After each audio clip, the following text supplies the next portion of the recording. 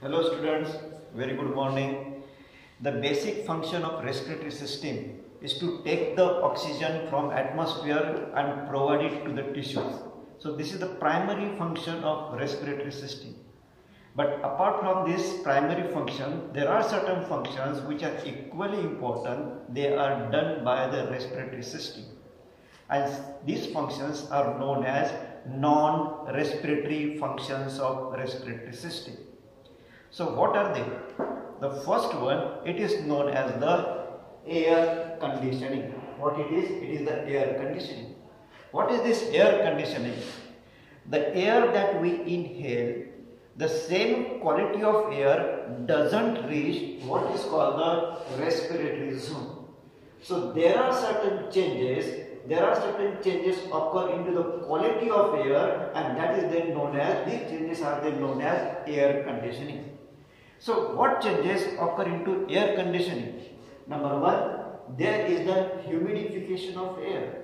And number two, the air is brought to the temperature of body that is 37 degrees Celsius. So first we say how humidity air is humidified. When we take the air in, that time very often the air is dry. Air strikes with the over the mucosa of the nose, then the mucosa of the uh, turbinates and ultimately goes over the pharynx and the uh, larynx trachea and it is then it is then exposed to what is called the mucus that is covering the that is covering the uh, ciliary epithelium. This mucus it goes on it goes on adding the water molecules into the air and thus there is the increasing uh, increase in the partial pressure of water partial pressure of water in the air and this brings about the humidification of air. So this is how the air is humidified that is this is how the water molecules are added into the air. Second function the inhaled air by the time it reaches the respiratory bronchiole, it is brought to the temperature of body and how this is done. So we take one example. Supposing this is the month of December, the atmospheric temperature is around say 10 degrees Celsius. We are taking in the cold air, but by the time it reaches the respiratory uh, zone, the temperature is increased to 37 degrees Celsius. So how it occurs? Cold air, when it enters into the upper respiratory tract, it is exposed to the mucosa. It is exposed to the submucosa also. In the submucosa, blood vessels are present. These blood vessels, they contain the blood. The temperature of blood is 37 degrees Celsius and by the process of conduction and by the process of convection, the heat is transferred from the blood vessel into the air and the temperature of air goes on increasing increasing. And by the time the air reaches the uh, respiratory unit the temperature of the air is taken to the temperature of what? Body that is 37 degrees celsius. So these two changes they reverse happens when there is the summer. The surrounding temperature is 45 degrees celsius and that time the heat from the air, that is heat from the warm air, it goes through the mucosa into the blood and it is then carried by the blood and the temperature of the air then decreases by the time it reaches the respiratory, respiratory zone. So this is known as air conditioning and this is very important function of the respiratory passageway. Second function, Second function is the respiratory system. It participates into the defense mechanism. How it participates in defense mechanism? Imagine that you are working in the environment which is full of dust, both dusty environment. So is it that the inhaler which is having plenty of dust molecules, are they entering or are they reaching up to the respiratory bronchiole? Answer is no. By the time the air reaches the respiratory bronchiole or alveolus, the air is filtered and it is made pure. How it happens? The dust particles, they are of varying size. Some are more than 10 micron, some are less than 10 micron. The dust particles who are of the size more than 10 micron they are trapped by the hairs of the nose. They are also trapped by the mucus which is surrounding the turbinate, turbinates that are present in the nose. Then particles, that is the dust particles we, which are in the range of 2 micron to 10 micron, now they cannot be filtered by this uh, nose defense mechanism. These particles, that is 2 to 10 micron size particles, they can they reach into the trachea and the bronchi, and there by this uh, bron by this mucociliary system, these particles are trapped, and the uh, upward beating of the cilia, they cause the, uh, these dust particles to come into the pharynx and from there they are either cough out or they are then swallowed in the uh, GIT. So this is how the particles are then taken care uh, in the tracheobronchial tree by mucociliary system. Now there are certain particles which are the, which are of the size less than 2 micron they escape the defense of nose, they escape the defense of the mucociliary system and they can reach up to what is called the alveoli.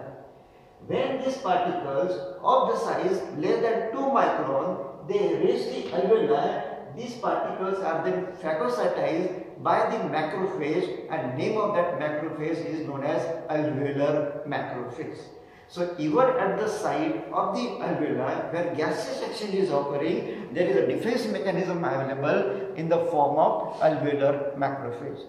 So after phagocytizing these particles or small particles, the air that is left into the alveolus, it is pure air. But if you are exposed to such dust, dusty environment for many months or year, then this defense mechanism overwork and sometimes it may fail and that may result into the chronic disease of the lung. Now, third function. Can you imagine the third function that uh, uh, respiratory system, it participates into the blood pressure regulation. How it participates in the blood pressure regulation? The, during the regulation of blood pressure, the angiotensinogen that is present in the blood is converted into angiotensin 1. Once it is converted into angiotensin 1 and we know that angiotensin 1 is not the active agent. It must be converted into angiotensin 2 and which then ultimately leads to the regulation of blood pressure. So how angiotensin 1 is converted into angiotensin 2? When this blood, when this blood with the angiotensin, angiotensin 1, it passes through the pulmonary capillary. The pulmonary capillary is lined by the endothelial cells and these endothelial cells at their apices they have the enzyme. Name of that enzyme is the angiotensin 1 converting enzyme and when this angiotensin strikes over this angiotensin converting enzyme, it is converted into the active product and that is known as the angiotensin 2. When this blood comes out of the lung into the systemic circulation, then this angiotensin 2, it participates into the regulation of blood pressure. So this is the third function. Fourth function. What can be the fourth function? Where the we discussed two important functions. Number one, the air conditioning and the second one is the defense one. Because of this air, condition, air conditioning, we can have the next function. When we exhale the air, we are exhaling the warm air. That is, there is loss of heat from the body. So, respiratory system indirectly it participates into the temperature regulation. Next function, when we exhale, we are exhaling the humidified air. That is the air which is containing water molecules. So there is a loss of water which cannot be seen by, by ourselves and this is known as you know, this is known as respiratory loss of water. Over 24 hours, around 250 ml of water is lost by this mechanism. So respiratory system by this way it also participates into the water balance of the body. So temperature regulation and then followed by the uh, water balance regulation of water balance in the body. Then What is the next function which is not concerned with the respiration? It is the voice production. The vocal cords are present into the larynx and because of them we, uh, uh, we can produce the voice and thus during the act of expiration the voice is produced. Then any function? Smell. Because of presence of olfactory epithelium in the nose we can pursue various smell. So olfaction is one more function of the uh, one more non-respiratory function of the respiratory system. Then, so the because of during expiration CO2 is also going out and because of the loss of CO2 there is the balance of pH in our body.